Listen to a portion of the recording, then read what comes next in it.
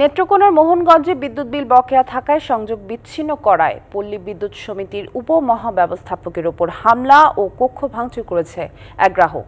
মোহনগঞ্জ পল্লী বিদ্যুৎ সমিতির জোনাল অফিসে এই হামলার ঘটনায় আহত হয়েছেন উপমহাব্যবস্থাপক আবুল কালাম সহ কয়েকজন।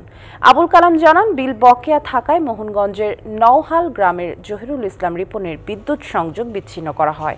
এ ঘটনায় জহিরুল দলবল নিয়ে অফিসে হামলা করেন। আহতদের উপজেলা কমপ্লেক্সে ভর্তি করা হয়েছে। হামলার আলামত সংগ্রহ করেছে পুলিশ। ডিজিএম আবুল কালাম বাদী হয়ে জহিরুল ইসলাম রিপন সহ ছয় জনের নামে মামলা করেছেন। অজ্ঞাত আসামি করা হয়েছে আরও বিশ থেকে পঁচিশ জনকে।